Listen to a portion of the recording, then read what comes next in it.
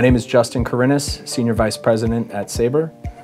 Got my start in real estate at Studley, which is now Savills Studley, and I've been here at Sabre about a year and a half now.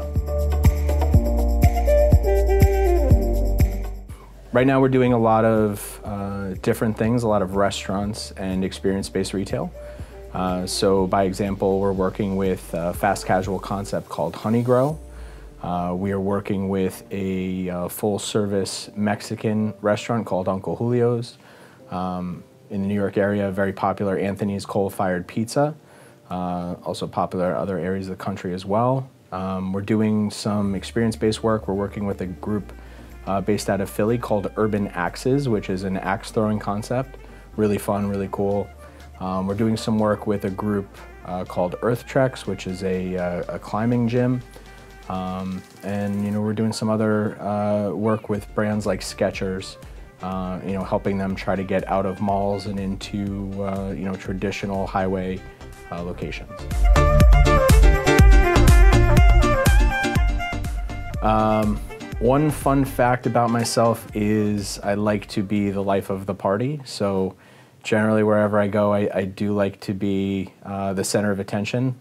Um, but usually that's sort of on my own terms. So uh, you know, it's it's it's when I want it, but uh, you know, I, I, do like to be the center of attention.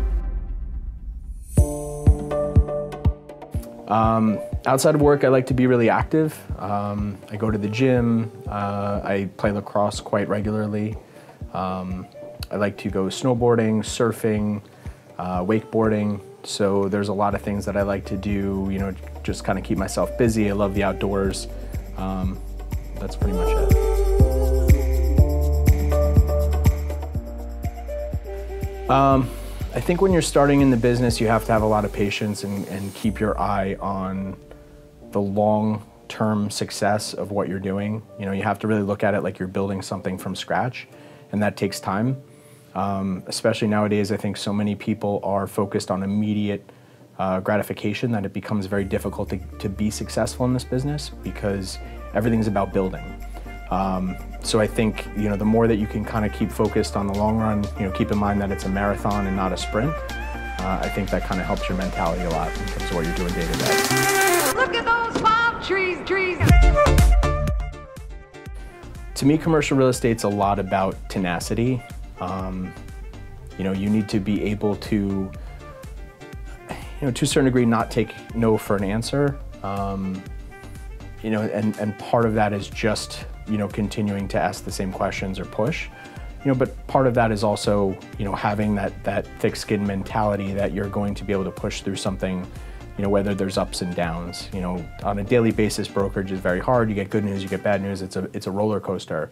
Uh, but as a broker, you need to be sort of even keel and be able to push through, you know, a lot of those ups and downs. So you don't get too high on the highs, you don't get too low on the lows.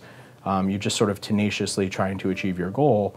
Um, and that may not be a specific deal, but you know, at the end of the day, if you're you're really kind of taking everything into account and you're working hard toward your goal and you're doing the right things um, you know that support the goal that you're trying to achieve you will eventually get there I have an idea. Let's go on a road trip, get five hours away, and eat a big jalapeno, and sit in the car for the next five hours and see what happens. I'm ready. Hello, darkness, my old friend.